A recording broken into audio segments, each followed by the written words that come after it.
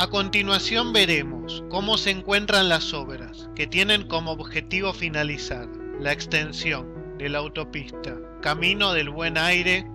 con imágenes que varían entre los meses de marzo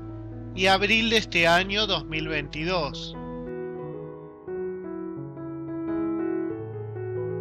La construcción de esta nueva autopista circunvalación unirá una vez finalizada a unos 13 partidos ubicados en el Gran Buenos Aires, conectando de esta manera a la autopista panamericana al norte de la ciudad de Buenos Aires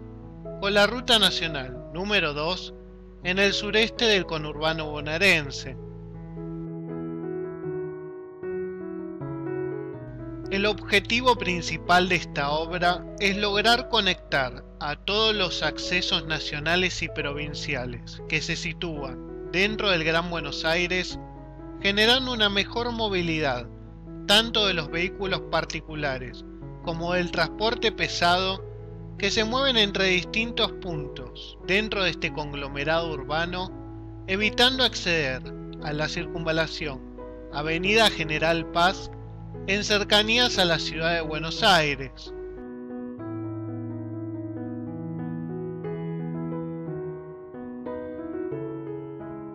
Actualmente esta nueva autopista tiene algunos tramos que ya se encuentran habilitados al tránsito,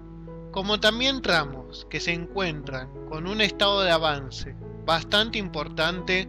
aproximándonos a nuevos kilómetros que pudieran quedar habilitados dentro de un corto plazo.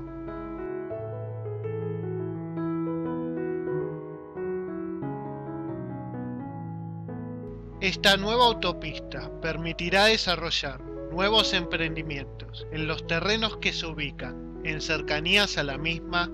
generando una oportunidad más que importante, especialmente para rubros que se vinculan al mercado inmobiliario como también a la instalación de nuevos parques industriales en zonas en donde actualmente predominan las hectáreas rurales. Otra de las funciones que tendrá esta nueva traza será la de lograr conectar a todas las rutas nacionales y provinciales con el Aeropuerto Internacional de Ceiza,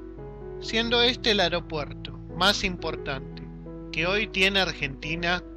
como también el beneficio de acceder mediante autopista a la ruta nacional número 2, tan utilizada en épocas de temporada alta para acceder a las localidades que se sitúan en la costa atlántica bonaerense.